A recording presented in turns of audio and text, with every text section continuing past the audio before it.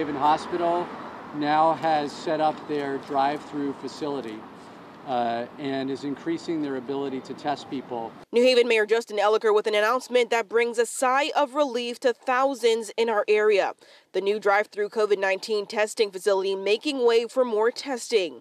Elicker says he fully anticipates more cases to present themselves. We anticipate because of that infrastructure that we will quickly see a rise in the cases all around the region. The Yale New Haven site, however, exclusively requires a doctor's note for all patients driving through for testing. Hospital facility only accepts people with a prescription.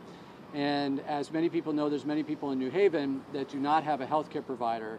And so we are working with our health department to come up with a plan and strategy to make sure that people that do not have a healthcare provider will be able to have a prescription and set up an appointment for a drive-through at the uh, hospital. State epidemiologist Dr. Matthew Cartter updating the public Tuesday afternoon on the latest drive-through testing sites across the state. He says the testing sites are an aid to hospitals overwhelmed with patients. It's not a screening test to see if you might have it.